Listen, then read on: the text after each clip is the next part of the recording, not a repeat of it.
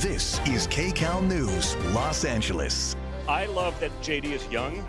It's about a new generation of Republican Party, and I think he's a young guy that can carry that. Now at 4, the speculation finally over. Former President Donald Trump has chosen Ohio Senator J.D. Vance as his running mate.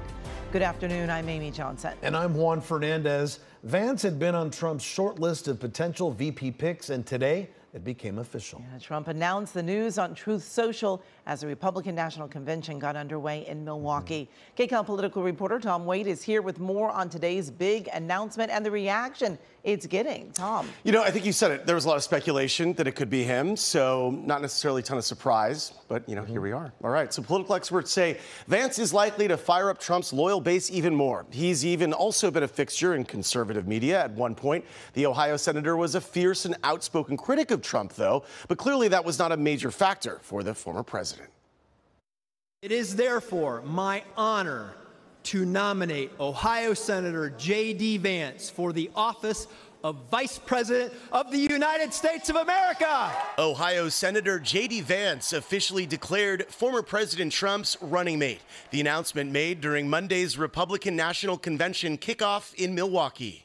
Any comment, Donald Trump Jr., on your dad picking Senator Vance for his vice presidential pick? I think it's an incredible pick. I think he's an incredible guy with an amazing story, both in business and in life. And I think it's just going to be an incredible person to help unify this country. And what did you say to your dad in recent days about why? Because he was considering other names, as you know. What did you say to him in recent days about why it should be Senator Vance?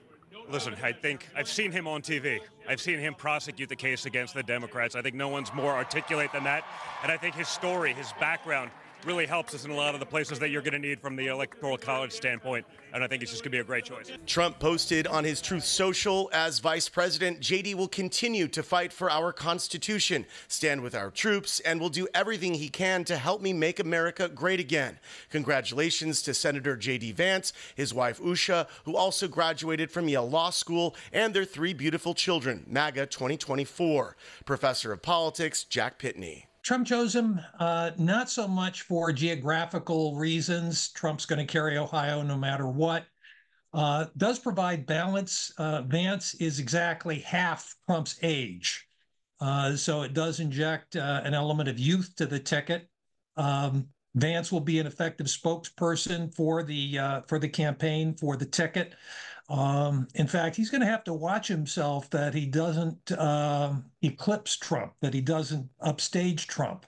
Trump doesn't like to be upstaged. Senator Vance's star has been on the rise since 2016 when the 39 year old published his memoir, Hillbilly Elegy. He was elected to the Senate in 2022 and has become one of the staunchest champions of the former president's Make America Great Again agenda. Vance was also a fierce critic of Trump, calling him a total fraud, a moral disaster, and America's Hitler. But since making those comments, he has done a complete 180 and has scored the coveted VP slot. Well, he's very ambitious, and he decided a few years ago that becoming a Trumpist would be the path to power, and so far it's worked out for him. Meanwhile, President Biden is blasting the pick. He's a clone of Trump on the issues. A clone of Trump on the issues. So I don't see any difference. After the attempted assassination of President Trump over the weekend, Vance posted on X that President Biden's rhetoric led directly to the shooting. Amy? Tom, thank you. Well, the head of the Department of Homeland Security is facing some harsh questions about the security lapse at Saturday's Trump campaign rally shooting. And tonight we're getting more details on the investigation into that assassination attempt. Here's KCAL News reporter Mahsa Saeidi. CBS News has confirmed that on the day of the assassination attempt, the shooter purchased a box of ammunition with 50 rounds. He fired from the rooftop of a building about 400 feet from the stage. Homeland Security Secretary Alejandro Mayorkas, whose department oversees the Secret Service, fielded questions Monday about how the gunman was able to get that close before Secret Service counter snipers shot and killed him. An independent review will be conducted to understand the facts regarding protection of the event and make findings and recommendations accordingly.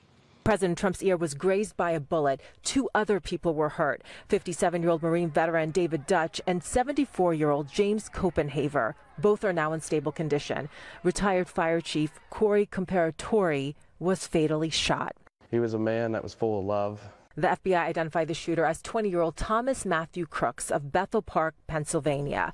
Investigators say they found rudimentary bomb materials at his home and in his vehicle. Neighbors say they saw nothing out of the ordinary. We have nothing to share to, to make some logic out of something that's completely illogical. Um, so uh, they were they were very friendly. Law enforcement sources say the rifle found on the shooter's body was legally purchased by his father well before the attack. So far, investigators believe Crooks acted alone and the motive remains unknown. He was a registered Republican but did make a $15 donation to a progressive organization in 2021, according to the Federal Election Commission. Mahsa Saeidi, Butler, Pennsylvania. A U.S. law enforcement official familiar with the investigation is telling CBS News the shooter visited a gun range in the days before the assassination attempt.